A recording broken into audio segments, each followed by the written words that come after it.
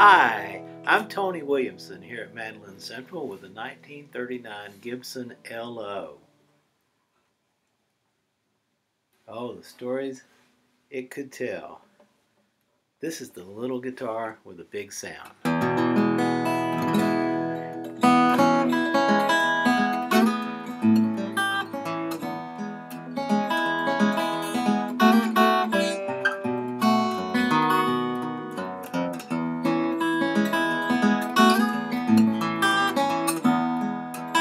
thank you